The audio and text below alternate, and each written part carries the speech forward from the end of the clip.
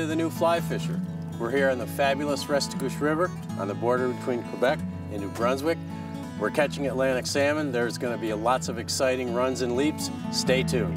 On this week's show, the new Fly Fisher crew are guests of the Restigouche River Lodge. This beautiful lodge is located on three miles of prime Atlantic salmon water. The lodge is at the junction of the Restigouche and Matapedia rivers on the border of New Brunswick and Quebec. Lodge is a full-service lodge with comfortable accommodations, friendly staff, great food, and of course, spectacular Atlantic salmon fishing. The lodge is one of the first camps on a salmon's journey up the Restigouche from the Atlantic Ocean, so fish here may be seeing a fly for the first time after they enter fresh water. The Restigouche River salmon are renowned for being strong and acrobatic and are some of the largest salmon in Canada. Between 15,000 and 25,000 salmon enter the Restigouche each year, which attracts anglers from all over the world. Our guide for today is Randy McNaughton.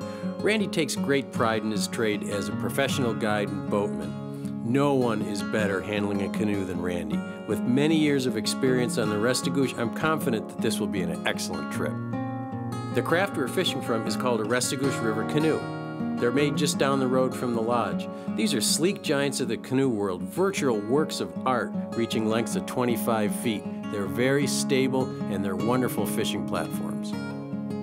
Anglers and their guides along the Restigouche have been using a version of this canoe for over 100 years. The vessel is very stable and comfortable and able to carry a large amount of supplies. It's perfect for our fishing today. Is the salmon here? What's that? See the salmon right here? Two of them? Oh, yeah. Yeehaw. So that was interesting. We, uh, we tried one fly through there, didn't work, tried a light fly, and then switched to a dark fly, and it did the trick. I was uh, proud of myself because I didn't do a trout strike. In Atlantic salmon fishing, you've got to let the fish have the fly, and you've got to wait till they come up and take the fly and turn so it sets in the corner of their mouth. And it's so, uh, so much of a natural reaction for a trout angler to lift and set the hook, and that just pulls the fly out of their mouth. So we got lucky there. I got lucky there.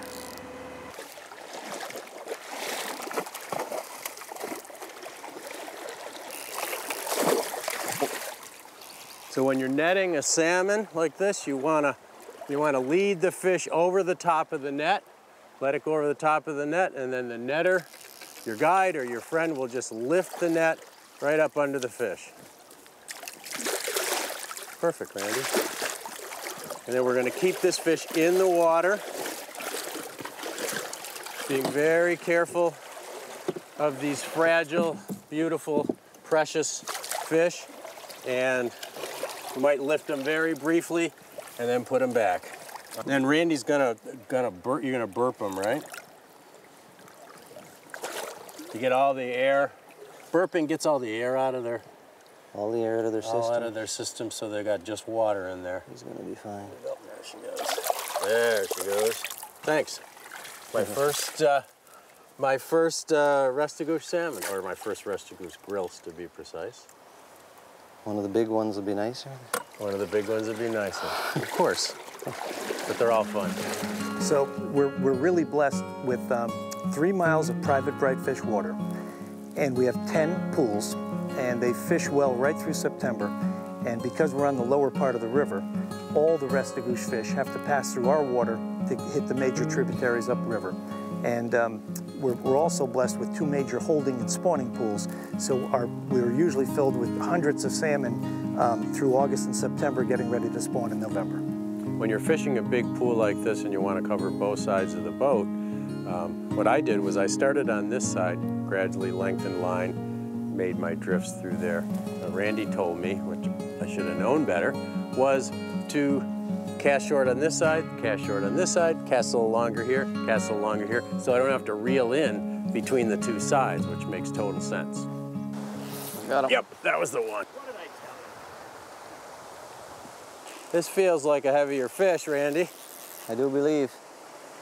What's happening here is we're gonna have to follow this fish with the boat. He's down into that faster water and we just can't pull him up through and we can't wade this very well. So we're gonna bring the boat down so we can get downstream of the fish so that he has to fight the current, oh, against us.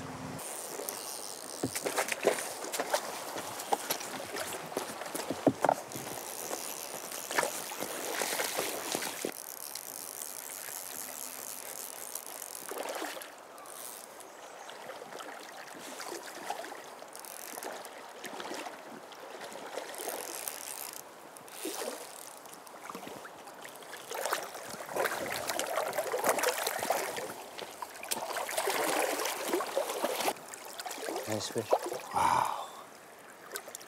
Amazing. How big is that fish? 16, 17 pounds. Ah. Ah, magnificent. Can I release her? You bet. There you There go. she goes. Wow. Wow. Good job. My first adult salmon.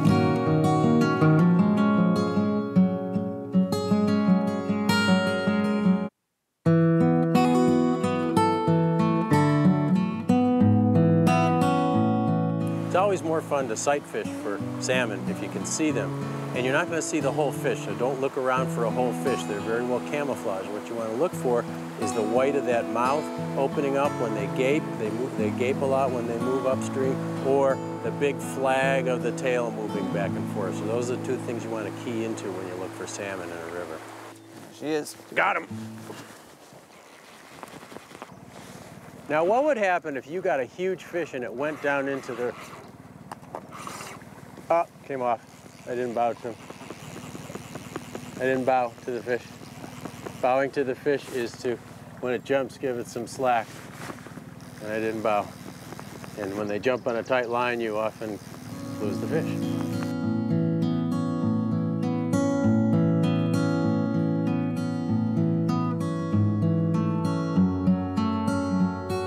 We, we really try to keep a professional but a very casual and warm atmosphere in the camp. We want, we, want, we want a lot of interaction with our guests and the staff as much as the guests want to interact with the staff. We, we really like that atmosphere. Our main meals have, uh, we're usually serving three, four pound lobsters, prime rib, um, scallops, turkey, chicken. We have some nice family dinners. Um, and we keep a very warm and pleasant and friendly atmosphere at the table. We really encourage a lot of interaction, and that's really half the half the fun of, of being here at the camp, meeting all the new people that we get to meet, that we're privileged to meet. After a hearty and delicious lunch, Randy and I went out to look for some more salmon.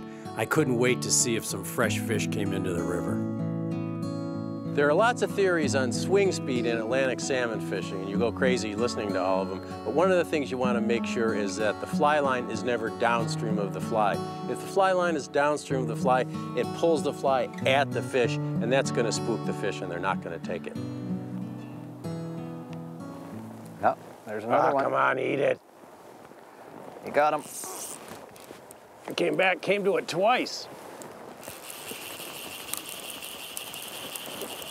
Feels like a heavy fish.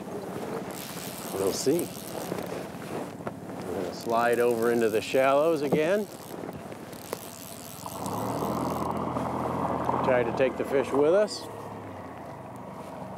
I'm just trying to keep up line as we as we drop down with this fish. When he hits this shallow bar, he's probably going to not like it and take off. I would expect. Shaking his head pretty hard, which always scares you. Oh, there's a jump. Beautiful. Beautiful jumps. This is definitely a salmon, not a grilse. It's bigger fish.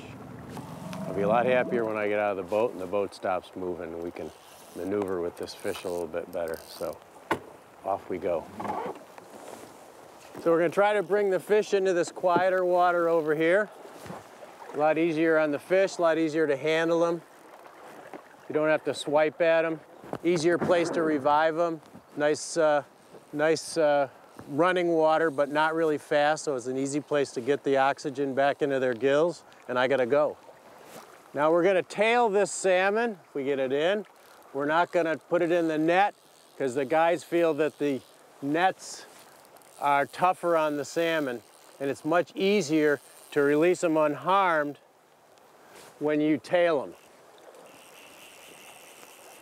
The, the uh, bigger salmon have, a, have stronger bones and they have a real wrist that you can grab onto. It makes a nice handle. Oh, I hate it when they roll on it.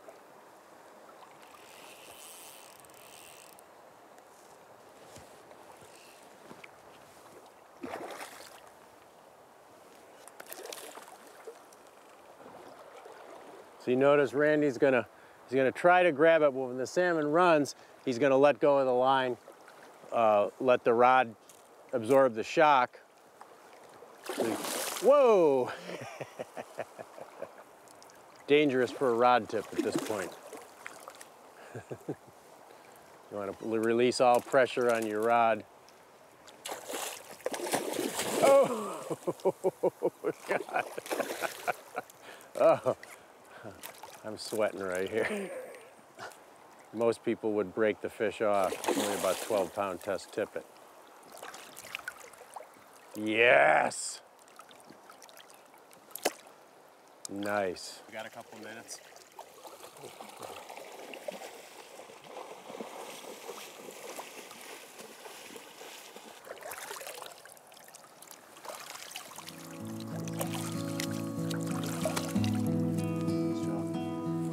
So what's the size estimate? 15. 15. 15 pounds. Pretty nice. These are the, some of the favorite flies on the Restigouche, and they're also favorites throughout uh, maritime Canada and actually throughout the world. Uh, you have a, a, very dark fly with a bright green butt, the black bear green butt, one of the most popular salmon flies in North America. And then for a lighter fly, you have the silver rat. That's one that the guides like to go to when the day's bright. They have a rusty rat, very traditional New Brunswick fly, uh, a little bit brighter fly. And then you have the green Highlander. Uh, that was originally a classic feather wing fly, and this is a this is tied with a with a hair wing, but it's a bright green and yellow fly. And then you have a smaller Undertaker, which is very close to the green butt. And you'll notice that some of these flies have double hooks, like this silver rat, and some have single hooks. The double hooks are used in faster, deeper, higher water. Gets the fly down a little bit better. It's illegal to use weighted flies. Even though a salmon usually comes up for a fly, it's illegal to use weighted flies. The double hook adds some weight and um, gets the fly down there. And finally, you've got a dry fly. For God knows what reason, Atlantic salmon come up and smack great big dry flies. Again, even though they're not feeding, they will come up and smack a dry fly, dead drifted like a trout fly, or waked in the current uh, like, a, like a wet fly where it, it actually drags in the current behind the boat or behind the angler.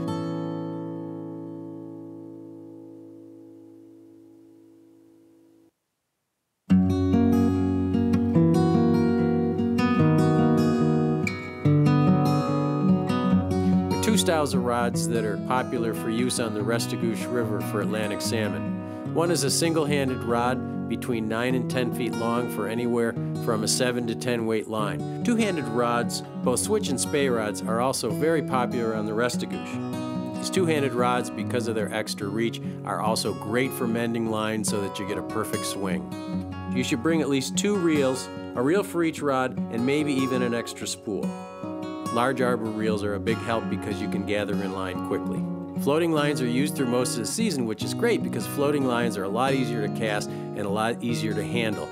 There are times early in the season when the water's high when you may need a slow sinking intermediate line or a sink tip line, but for most of the season, floating lines will do just fine.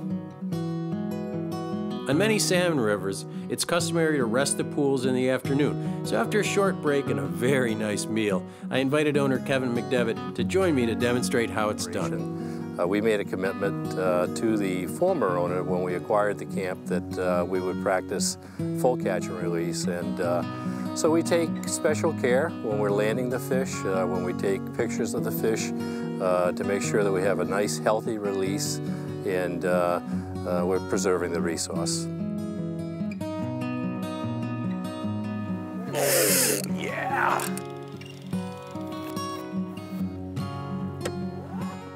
I'm coming, buddy. What was the name of that fly? That was the Green Widow. The Green Widow. Yeah. There she goes. On So here is Kevin. Just hooked, actually hooked two salmon. The tail of this run, which is called ledge, ledges, ledges. Yeah. ledges. Pretty interesting the way they did that. They very carefully slid the fish out of the run so as not to disturb the rest of the run, and they just kind of kept pressure on the fish and brought the fish out of the run so that it wouldn't disturb the rest of the run. So it was really nice the way they did that. And once the fish got out of the run and into the faster water, then he put the pressure on. So pretty cool way of doing it.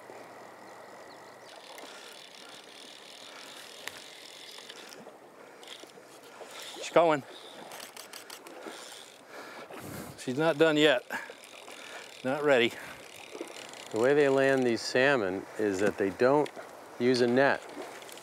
The guide hand lines the fish in. They feel that the nets are a lot more damaging to the fish. So the guide will leader the fish and then bring it in carefully and then tail it. Okay, I think she's ready.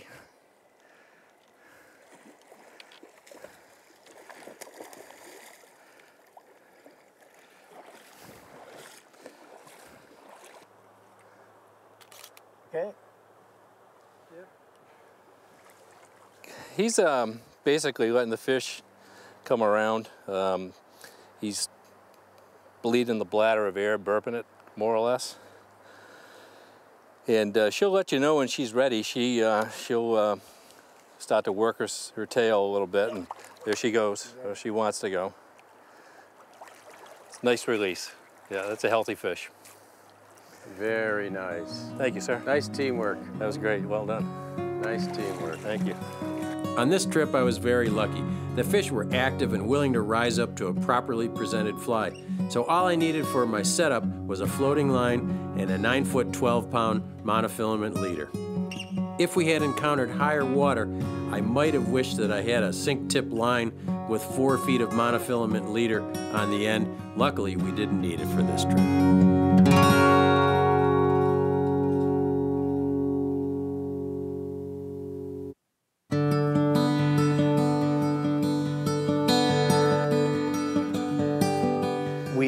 Found ourselves quickly in the middle of a bid for a private fishing camp on the Restigouche River. We didn't balk, we acted very quickly, and now we're fortunate enough to own a private camp on the Restigouche River, and it's the only water on the Restigouche available to the public.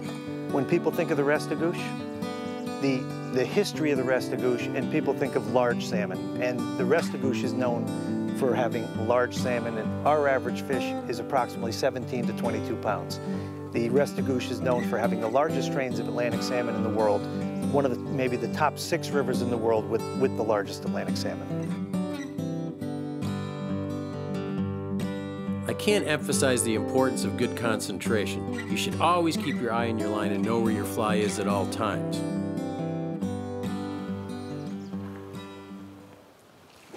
That's a salmon too.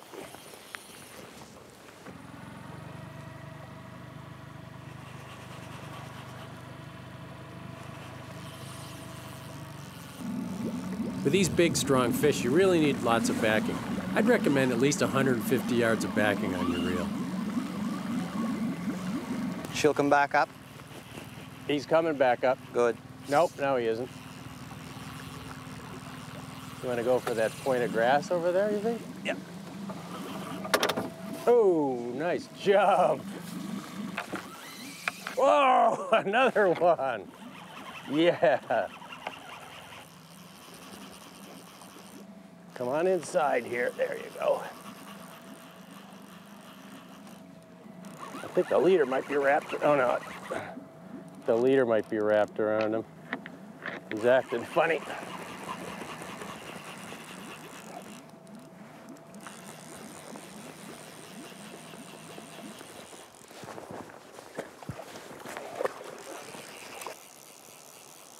Ease up the pressure on her a little bit. Let her, let her come up, come up on her own. Yeah, she's coming right up through here. Oh, she got wise to that move. I think I could tail her right from here. You want me to try? She's right behind that alder. Okay, just hang on. Whoa! Almost. Almost.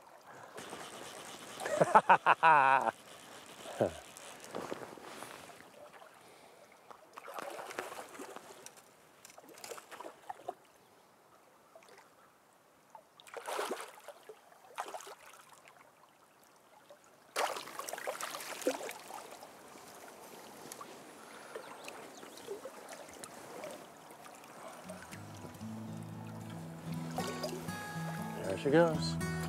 I've just caught and released my fourth salmon, and I'm done for the day. That's the law. We've had an incredible time here at the Restigouche River Lodge on the Restigouche River between Quebec and New Brunswick. You can learn more about the amazing world of fly fishing on our website at www.thenewflyfisher.com. Thanks for watching. We'll see you next time.